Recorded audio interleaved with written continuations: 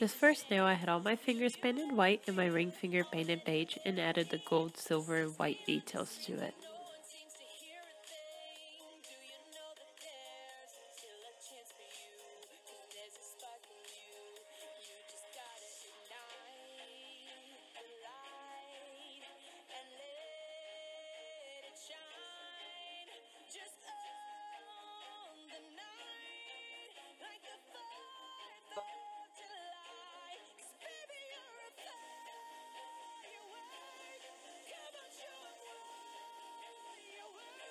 For the second one, my nails are gray, my ring finger is silver, and I added an ombre-like effect.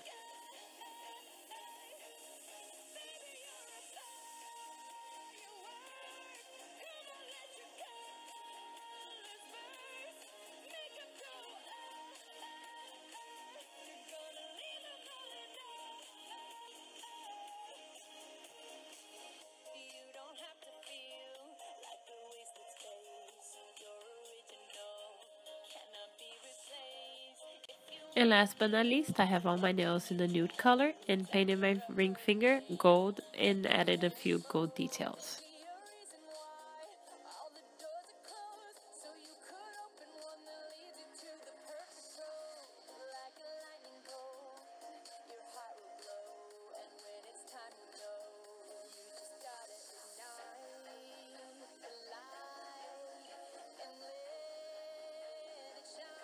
Hope you guys enjoyed the video. Let me know which one out of the three is your very favorite on the comments below. Make sure to like, subscribe, and check out my website at lookchicblog.com.